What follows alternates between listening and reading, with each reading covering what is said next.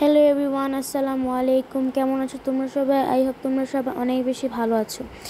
এই ভিডিওটা হচ্ছে আজকে বিকালের। আজকে যেহেতু ফ্রাইডে আর আমরা সবাই মিলে যাচ্ছিলাম একটু বাইরে ঘুরতে।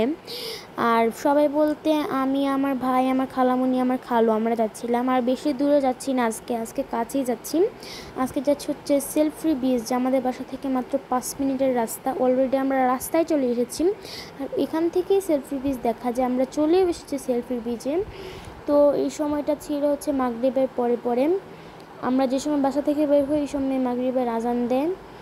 আর এদিক দিয়ে দেখো কত সুন্দর সিনারি আমি নিচ্ছিলাম, খুব ভালো লাগতেছিল। দিয়ে ছিল সুরমা নদী। আমার আঙ্কেল আমার ভাই ছিল সামনে।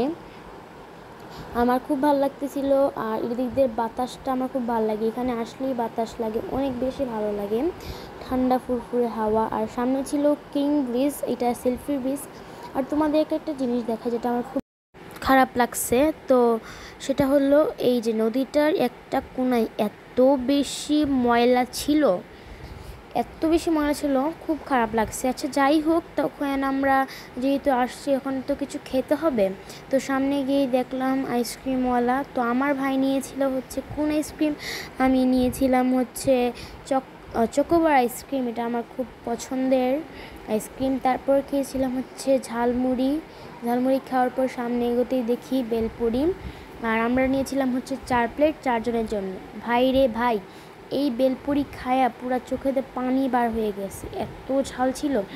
আর এই যে আমাদের বাসার সামনের হাসপাতালটা, তারপর আমার ভাই তো ঝালে পুরো কান্না করে দিয়েছে। তা তাকে পানি খাওয়ানোর জন্য আমরা সামনে যাচ্ছি। পানি খাওয়ার পর আমরা চলে এসেছিলাম সাধে। তো সাধে আসার পরে আমি পুরো স্বাদের শোরুমটাকে একটু ভিডিও নিচ্ছিলাম। আর স্বাদে এসেছিলাম হচ্ছে একটা বার্গার কিনতে, একটা না দুইটা বার্গার। আমার আঙ্কেলের কাছে আমার ভাই বলছিল, বার্গার খাবে তো আঙ্কেল নিয়ে চলে আসলো বার্গার কিনতে। আর একটা জিনিস খুব ভালো লাগছে, সেটা হচ্ছে বার্গারের সাথে আমাদেরকে একটা কিটক্যাট ফ্রি দিয়েছে। তারপর এই দিক দিয়ে ফলের বাজার দেখতে দেখতে আমরা বাসায় চলে আসলাম। আর বাসায় এসে দেখি কারেন্ট নাই। কেমন লাগে? আমরা উপরে উঠতেছি আর দেখতেছি যে কারেন্ট নেই। আমার ভাই সামনে যাচ্ছে। আর এত গরম লাগতেছিল বলার বাহিরে। আমার ভাই সামনে উঠছে।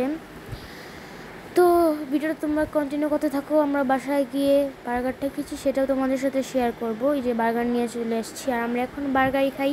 তোমরা আরও এরকম ব্লগের জন্য আমাদের চ্যানেলটাকে সাবস্ক্রাইব করে দাও। এবং লাইক কমেন্ট শেয়ার করে দাও প্লিজ আল্লাহ হাফেজ।